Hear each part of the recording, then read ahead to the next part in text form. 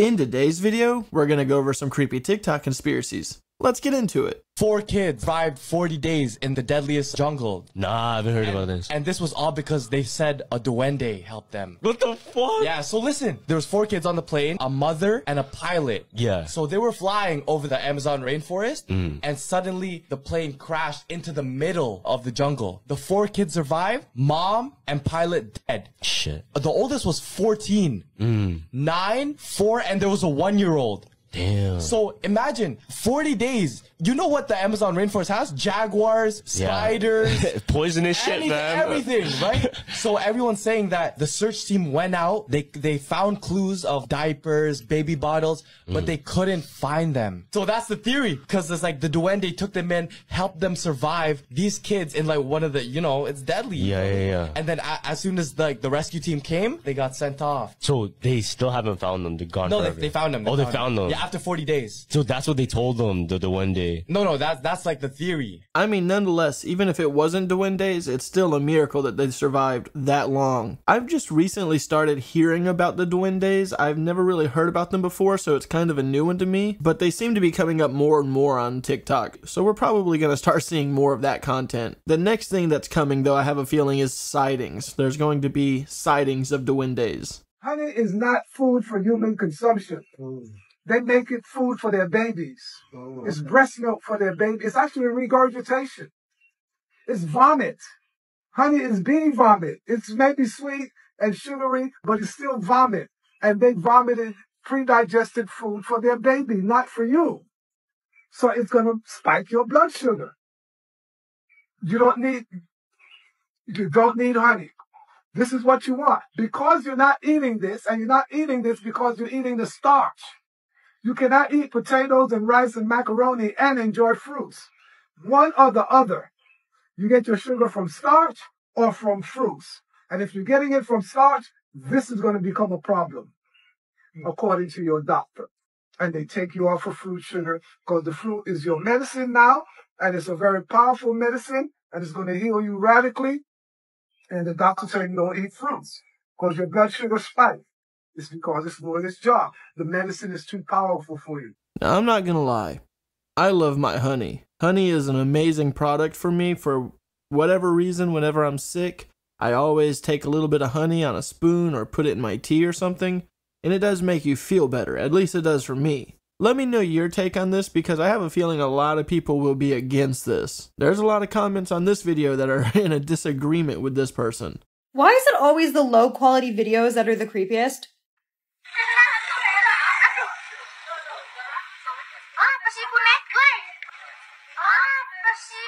I know y'all saw this big figure walk by, and now they say it's a cryptid, but I actually think that it's the Night Lady. The Night Lady is said to be this woman that lurks on people's houses in the middle of the night, waiting for you to fall asleep. It had its origin in Mexico, and she's been linked to real kidnappings. She waits for you to go to bed, and she'll sneak in through your window and kidnap you. Many people believe that this lady is actually real. Again, like I said, she's been linked to real kidnappings. So, do we think that this is the Night Lady? Let me know in the comments below. I don't know. The thing that she says that is walking by, it does not look like it's walking by. It looks like it's either floating by or it's hung up on something and it's just being passed by. I think that that's just a, a sheet of some sort just hanging from maybe a power line. But I never heard of the Night Lady. That was a new one.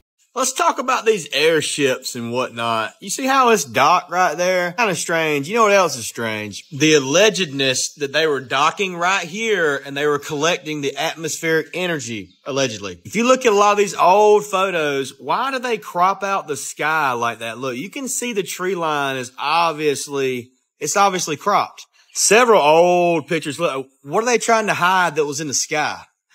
Or this one right here. I mean, I'm not even, don't even get me started. This is, uh, when they were building the Washington Monument, man.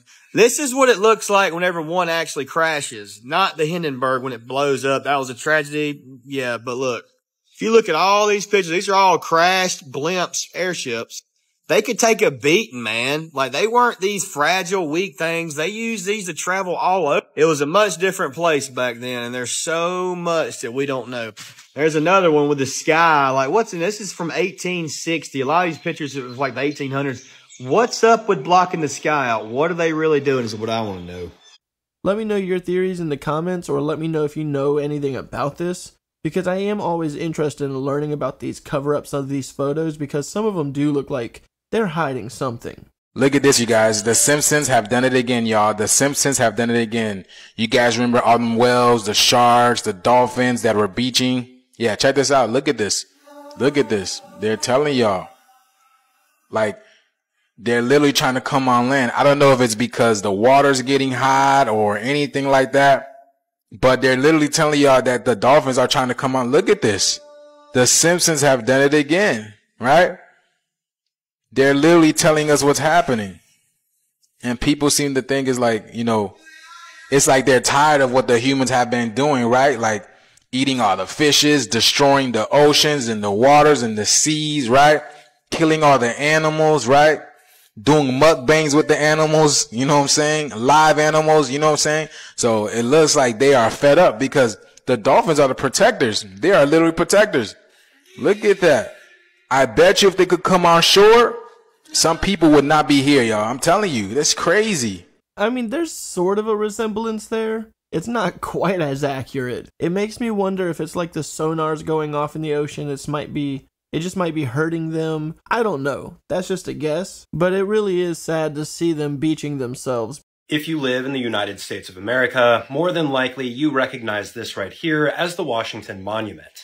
And this slideshow that I got tagged in has been getting some traction and starts off with a photo of the special tree that's inside of the Washington Monument. There are then some photos that show what claim to be the building process, and finally, the modern day Washington Monument. Now this right here seems to me more like a creepy pasta or made up story. They're claiming that this tree had special powers and was fully sentient and conscious, whereas the Washington Monument, the inside, really isn't as interesting as this. For those of you wondering what's actually inside of the Washington Monument, this diagram does a really good job of explaining it. You can pause it and read it if you'd like to. Essentially, it boils down to it's pretty much hollow. You're allowed to visit it, go up to the very top, check out the observation deck, and go back down. There's only a set amount of visitors that are able to go inside every single day, but I'm sure if you asked any of them that went inside if they saw an old tree, they would say no. I mean, that's a pretty cool little creepy pasta if that's the case. It's actually really clever because I would have never have thought that something in the Washington Monument was being covered up. But the idea that maybe they're keeping some kind of tree of knowledge or some kind of anomaly hidden right in plain sight in some kind of obelisk, that's pretty neat. Hey, if you haven't done so already, go ahead and like the video and subscribe to the channel. I only ask once per video and I make a video like this almost every day. And to everyone that's subscribed and or watching, thank you so much for being subscribed and thank you for watching. We find some very interesting signatures when we look at obelisks. Like, strange. Energetically, when we measure obelisks and we look at them and the fact that the founding fathers built them everywhere, there's one in Washington, D.C., there's one in London. Like, yeah. they knew about the, knew this. Something. Oh, 100%. Like they knew about the importance of them. And so what I can try to come up with is like, well, look, if the pyramids are some kind of a central location, then the obelisk would be like the receivers all the earth.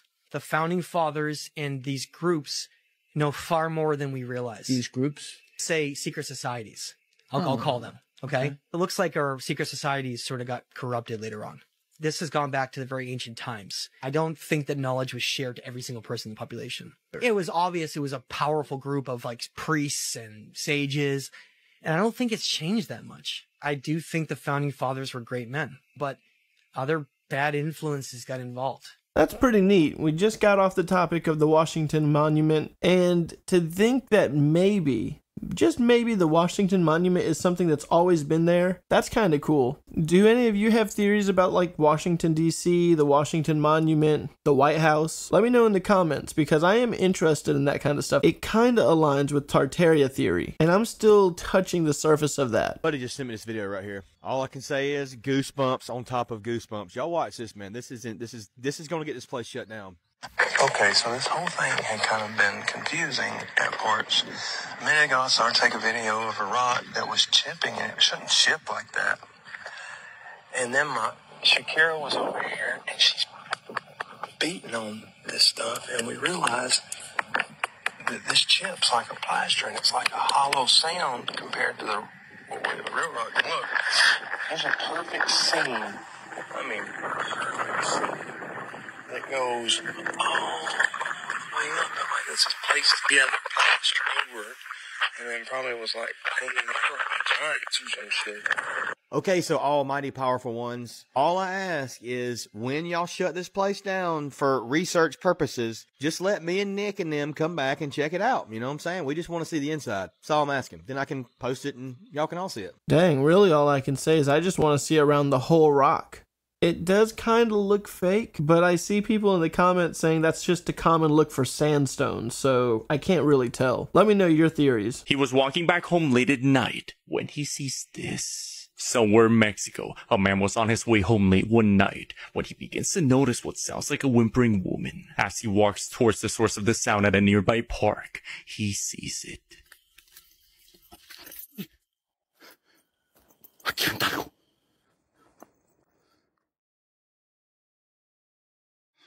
No mames, miren esa madresota. No mames. ¿Quién eres, güey? No mames, ¿quién eres? Ay, capaz, de su puta madre. No mames, güey. No mames, güey. Puta madre. Oh, hijo de la chingada. Ay, cabrón. Like something of a nightmare, this massive silhouette of a four-legged being can be seen approaching him as the man runs for his life. We can hear whatever this thing is whimpering using the voice of a woman as if it's trying to lure him. The events captured in this video of unknown origin describe a shape-shifting creature of Mexican folklore that uses human voices to lure its victims, named Nahual. After posting this video, the man remains truly uncertain of what exactly was that attacked. At first I didn't see it, but then it pointed it out, and yeah, that looked like a big, massive shadow figure. If this is a real video, I would really like to know what that was because that was really big. The only thing that kind of makes me believe that it was not real is two things. One, the shadow figure was just abnormally dark. Everything around him was kind of lit up, but that shadow figure just stayed dark. And the second thing is is when he was running around, it looked like he ran around in a circle and ran back towards the direction of the shadow creature. But maybe that was just a trick of my eyes. Let me know what you guys think about this video. Look at what I came across on YouTube, you guys. Kamala Harris was doing a commercial and look at her neck, bro. This is not normal. This is not normal. And her head looks off. Look, why does her head look like it's off? Like, how do they think that we're not going to notice this? Does, can, what? Did her publicist really not think that we were not going to see this? Or are they doing this on purpose, y'all? There's no way the term black don't crack does not exist for her, bro. What, bro? This is not normal. Look at this. Bro, look at look at Kamala Harris's neck. Look at Kamala Harris's neck, bro. You cannot tell me that she's not one of them Lizzies, bro. Look, have a much greater impact. Look at That is this. because it takes time. What the- To hire organizers and staff. Bro. It takes time to open offices. Do you guys see with that? voters in battleground states. No, So bro. Earlier we do No it, way. better. Please send a donation to support Joe and me. And they're asking for It's gonna be a donations? fight, and we are all up for it. No. Bro, ain't no way. Do they really think that we are that gullible, y'all? I get what he's saying, but to be fair, Kamala Harris is like almost 60 years old. Uh, you can tell on her face she's got a whole lot of makeup. It's practically caked on, if you will. There, it's very thick. You can't see her age on her face, but you can see it on her neck. I do not think that she's a lizard person. I could be wrong, but I really think that it's just her makeup team is not touching up her neck and she's just an older woman. Let me know what you guys think of this. Have you ever heard of a Rife machine? Yeah. So I know you're very familiar with frequency. So I put a Rife machine on. I put it on my feet. Sometimes I put it on my hands. Sometimes I put it on both. So basically, for those listening who don't know what a Rife machine is, a Rife machine sends a series of frequencies through your body. It's kind of holistic medicine. I just got a Royal delivered to my house, the Royal Rife machine. Really? Yeah. So from what I understand, the Rife machine, it does all kinds of good things for you. It can break up bacteria, it can break up viruses. They say it can break up cancers, um, cancer cells. It's also very grounding. So I just recently learned about these Rife machines. And by learn, I mean I just found out about them on TikTok, and they caught my interest. The next video we're going to watch, I have not watched it all the way through, but I watched a little bit of it just to see if it was of the same topic of the Rife machine, and it supposedly is. So we're going to watch that. So if you're interested in learning about this Rife machine and frequencies and how it can supposedly help your body, let's see what it's like. I am going to be trying out something called the Real Rife machine, which is a machine that uses technology that was developed by Royal Rife back in the early 1900s. And it is frequencies designed to balance your body. I honestly don't understand that much about it, except that I know it works because I've had some experience with similar technology, but not the real Rife machine. So I'm going to be sharing my experiences with you, and here's the unboxing. So it comes in this awesome hard side case. I love that, and it got shipped like this, so it didn't waste a box. So the Real Rife machine is owned, his company is owned by Matthew Rife, who is the nephew of Royal Rife, who is the inventor. He was kind of this amazing Tesla-esque genius that sort of got canceled. All right, here's what it looks like inside, setup instructions. Oh my gosh, look at these beauties. Look at this sacred geometry in copper. I cannot wait to try this out. You do need to download this app right here and it's free. Okay, then it comes with this amplifier and to this you have to screw in an antenna so that your, uh, I believe it's for Bluetooth. And by the way, if you're like totally mystified about what this machine is, don't worry. I'm going to be talking to Matthew live over the next few weeks to share what this machine can do for people. Then obviously you need to connect it to power, just into a regular outlet or a power strip. Then all three of these knobs need to be set to 25%, and I know that has something to do with it being the actual Rife frequencies. Then you hook up the Bluetooth and allow that to hook up to your phone. Then the Z app has all of these different sequences that you can go through for whatever physical issue that you're battling. And so I'm going to find one. I chose one for 40 hertz that is to help with brain function because I'm brain fried from working on taxes and paperwork all day. Can anyone relate? And then you put your amplifier in between your two coils and put the coils as far away as possible. And you just need to be within 12 feet of them. You don't have to have physical contact in order for it to work. It was only like two minutes of a sequence, and I have to say, my mind is so much clearer. It worked almost immediately, and I could actually kind of feel a pressure in my head, not uncomfortable. It actually felt really good. Let's do another one. Let's produce relaxation. Okay, I'm like three or four minutes into the relaxation sequence, and I am telling you, I am so zen. I just feel relaxation waving through my body. More on this in the future. I'm a little disappointed I didn't actually get to see it used. I may have to look up some more about this. I might not on this episode. Leave a comment down below if this is something you're interested in learning about with me because I'm kind of interested in it. I'm just a little afraid. It's kind of sketchy looking. The entity who advised war generals, including Napoleon Bonaparte, the Little Red Man. An entity known as a harbinger of tragedy and disaster across France appeared to some of the nation's most prominent figures for over 260 years. Catherine de' Medici was the first person to see the Scarlet Spectre when she came face to face with it in 1564. She described it as a gnome-like creature dressed in all red. She is now remembered for the infamous Bartholomew's Day massacre. Henry IV of France would be the next person to see the entity, right before being assassinated by an insane school teacher in 1610. Marie Antoinette saw the being in her palace one day before a mob stormed into it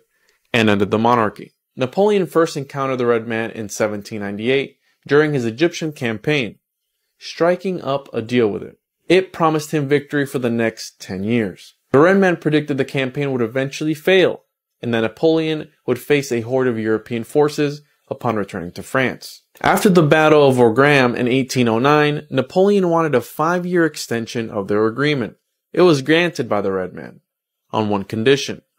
Napoleon avoid Russian conflict. The request was ignored and it led to a devastating loss. Napoleon would be visited one final time in 1814 with a warning that if peace was not had within three months, there would be dire consequences. It's an interesting theory. I just wonder why. Why would they do that? Unless it's demons and they're trying to manipulate the world to fall under chaos or something like that. And that's a pretty interesting theory. Let me know what you think it is because I'm very curious as to why there would be an entity just talking to people of power like that.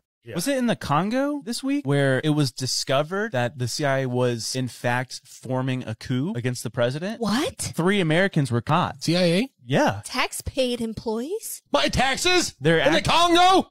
It's well documented of countless coups that the Yeah. CIA has done throughout the entire world. Yeah. I'll give one example. Man, this is like 100% proven. It was called the Banana Massacre. It was in um I believe Guatemala. Survey says?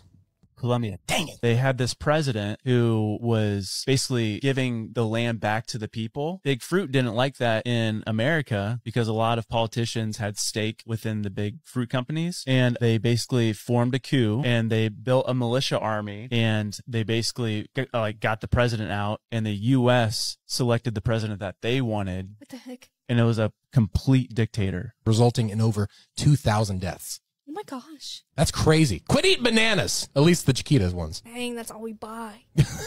I think things like this happen all the time, still to this day. There's always someone behind the scenes pulling the strings. But nonetheless, that is crazy. And I'm sure there was more to it than just bananas. If you thought rich people learn their lesson from OceanGate, you would be wrong. Enter billionaire Larry Connor, who made his fortune from real estate, has decided to take those skills to one of the most hostile environments on the planet. He's teaming up with Triton submarines to prove that exploring the Titanic is safe, because he's totally qualified to know that. The sub hasn't been built yet, but this is probably what it will look like in the next two years. It will be designed to dive about 13,000 feet. For reference, the Titanic is about 12,400 feet. Cutting it a little close for my taste. To be fair, this is not Connor's first rodeo. Him and the co-founder of Triton Submarines actually went to the Mariana Trench in 2021, which is deeper than the Titanic. And he's been to space.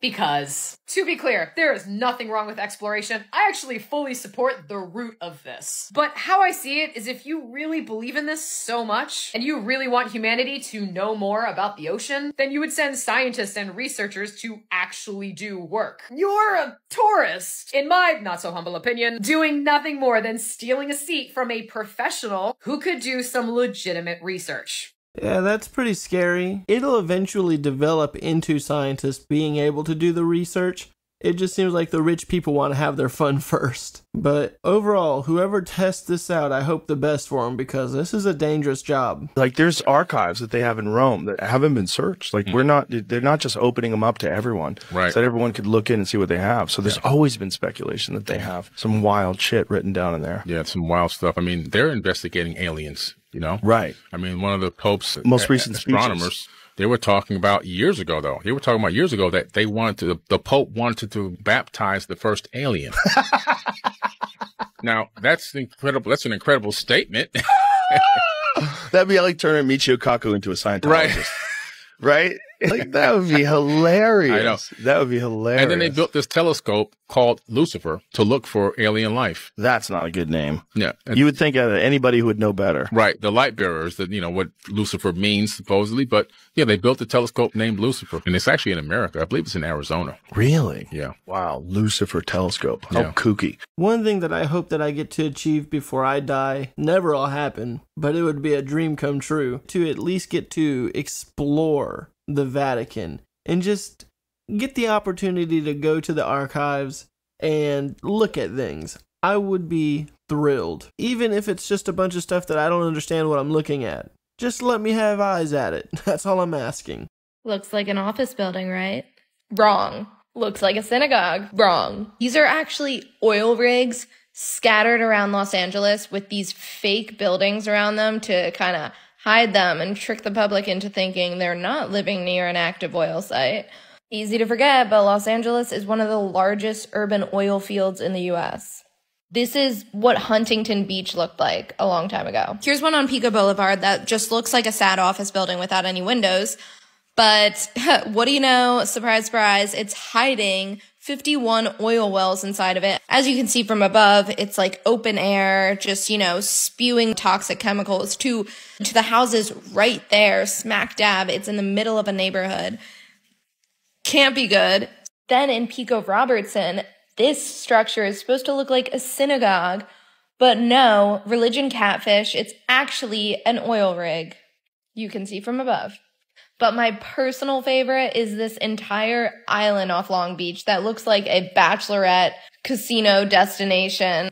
Unique structures that are, you know, you guessed it, they're oil rigs. There's actually like four of them scattered off the coast of Long Beach. And they're known as the astronaut islands because they're named after deceased astronauts. I don't I don't understand the connection, but the building and everything is meant to kind of reduce noise and other forms of pollution, but the same protections are not being applied to all the boatloads of oil rigs elsewhere under resource neighborhoods. So that's a whole other story.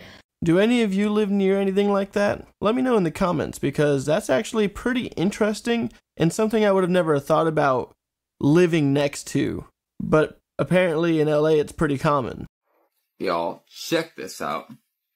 And you can see from the way the camera is, it's not booms like that. It, he's emitting light. The cave is not shining light on him. The dude is emitting light of his own. Now, I'll let you hear what's behind me. If anyone can translate, let me know what they're saying.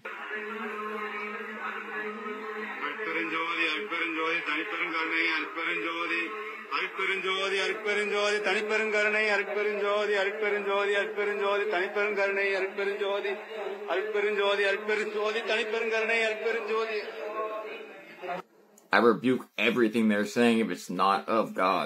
So they are literally praying over this man. Some kind of language, some kind of religion praying over him, and you can see him getting lighter and lighter, and even the aura around the lightness, which proves it's not coming from like a cave top, but the, literally the light is coming from him itself. Look at the glare coming off of him. Like you can literally see. I don't know. To me, it looks like there might be a light in front of him and it's just beaming on him real bright. Let me know what you guys think it is, but that's my theory. And I truly don't know what they're saying. So if anyone knows what they're saying, let me know that as well. There was a ship from, I believe, the 1700s that was carrying a bunch of cargo across the Atlantic and they encountered this giant storm and they started taking on water. And there was another ship and they raised the flag saying like SOS. The other boat raised their flags like the seas are too rough to send the lifeboat. And then the captain thought about it for a second and they had a barrel of fish oil. He dumped the barrel overboard and it calmed the ocean around What? him enough so to where this lifeboat could come and get them. And so this one guy that I saw did an experiment. He was at a lake and the, it was very windy that day. He took a tablespoon of fish oil, put it in the water, and for 50 plus yards, you could see the waves stop around this one area. So the oil keeps the water from waves forming because of the water temperature. It's heavier than the water, right? Yeah, but it was crazy. One tablespoon went out like 50 yards. Yeah. That's crazy. Apparently, it was an old sailor trick to do. Watch your Wow. knowledge, dude. Dump the fish oil. Wow, you learn something new every day. That's actually pretty cool. And that guy that, that did that experiment, I've seen some of his videos. I've never seen that one. Boy Nick Garner done discovered another ancient megalith site, I do believe. This is Talking Rock Creek in Georgia. Watch these steps. Okay, this thing is just incredible. Look, no way. That's a, uh, that didn't just fall off the side of the hill here. Ain't no way, bro. and, and be a perfect platform. Hold on. Because when you go down, there's another perfect platform. I mean, it's loaded from the water, obviously. There's a staircase. There's one. Look, there's another stair. And then this one. And look at this. And it leads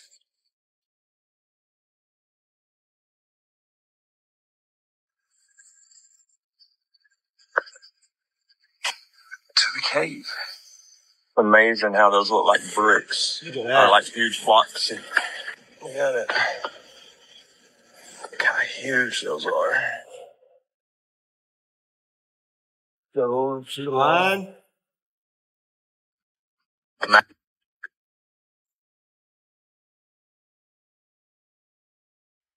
It's gorgeous. Look though, it's like a little staircase. Yeah.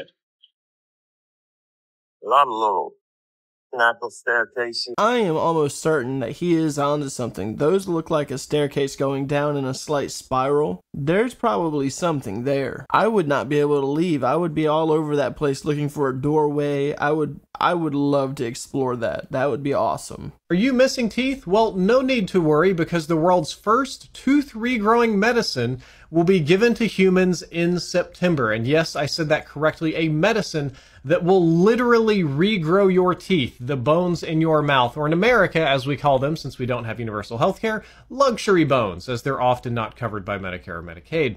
So this is coming out of Kyoto University in Japan.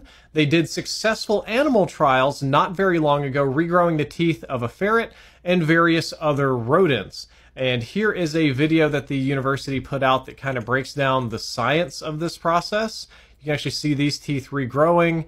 Uh, there's just so, so incredibly much going on in this video. They're very, very specific about it. But uh, what they're going to do is they are going to, if I can find some interesting pictures, they're going to be testing this on men aged 30 to 64 that have lost some teeth. And then in the second phase of the trial, they're going to be trying this on children aged 2 to 7 that have uh, a birth defect or a genetic disorder that prevents them from growing a certain number of teeth. And they're hoping the medicine will help regrow teeth in older men who have lost them just due to consequences of living, and also in children who have lost them because they were born that way. I think it would be downright awesome if there was a medicine that regrows teeth. Now, I do want to clarify this is a slow and painful process. Your teeth don't just boop back in in a few weeks. They have to grow in pretty slowly. It's not supposed to be fun or pleasant. But I do think it's very awesome that you can just straight up regrow them over time. And I genuinely hope that this works. I also really hope that this works. I think that this is a great opportunity for people that have certain illnesses with their mouth that made them lose teeth at a young age. Or if you just lose your teeth and you just want to be able to grow new ones without getting dentures or implants. This is an awesome opportunity to gain new teeth. I cannot wait to see the, the future studies of how this works some people might be against it because it's considered manipulating things that we're not supposed to be manipulating. But to me, it's a great opportunity for someone that really is either self conscious or is suffering with a lot of problems because they just don't have teeth. Let me know your thoughts about this. Funny thing is, I did not realize this, but the person that was talking about this teeth growth, looking at his username, his name is Drifter TV, and that's Drifter with a zero in it instead of a, an O. I used to play video games with this guy way back in the day. We used to play like Call of Duty Modern Warfare and Gears of War. I did not realize that until just now. That's actually pretty neat. He's doing very well on TikTok. That's a small world. Alright, guys. I'm going to go ahead and end this video here. As always, if you enjoyed any of these clips, links are in the description down below. And with that being said, have a good day.